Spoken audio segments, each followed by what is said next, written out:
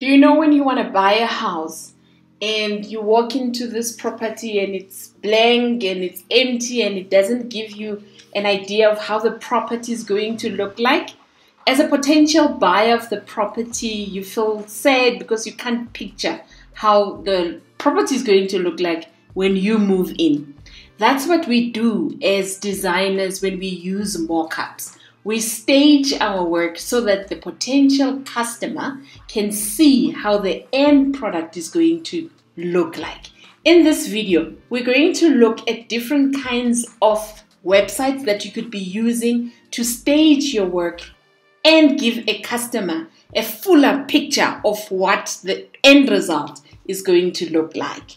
My favorite website would be Canva. From your landing page on canva.com, you're going to go to the left hand side of your menu and you're going to scroll to Smart Mockups. And Smart Mockups that's linked to Canva has more than 8,000 mockups that you could pick and choose and select and stage your work in a way that it shows the customer how it's going to look like. It is absolutely gorgeous. You could mock up or you could stage t-shirts, you could stage perfumes, laptops, etc. If you feel the smart mockups that are linked to Canva are not enough, Smart Mockups has their own website and it's smartmockups.com. I will link my referral link on the description below where you could get even more mockups that you could be using to present or stage your work for your customers. I'll link it in the description below. My other favorite website is freepik.com. When you land on Freepik, you go straight to mockups and then you can pick and choose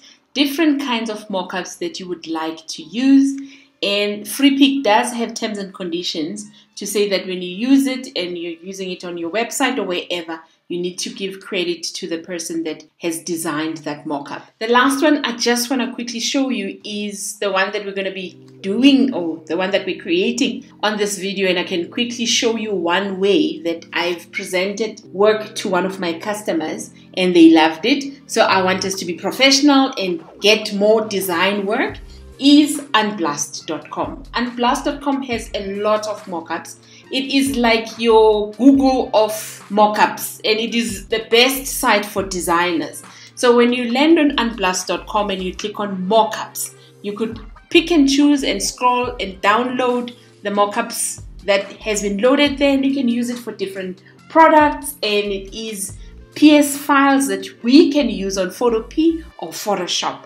So my the one that I've done today, I've downloaded it from unblast.com. All I did was I was looking for perfume. So I typed perfume on mockups and I entered and then I found this perfume mockup. When you select it and you look at how it looks like and you like the look and feel, all you do is you just click on download it will count you down and tell you that it's downloading in 10 seconds. You then click on start download and the file downloads on your downloads on your computer or your phone and then you go to wherever it has saved. I've saved it on my desktop. So you would then open it with a archive utility if you're using a Mac. If you're using a Windows, then you can use extract all. And then you have your PSD mockup that you could use for your designs. Now the application. Because we're not using the templates that are already on Photopea, we've downloaded it from external. We're going to go to open from computer. Then we're going to find the file that we've downloaded. So when you're using mockup, always look for the PSD file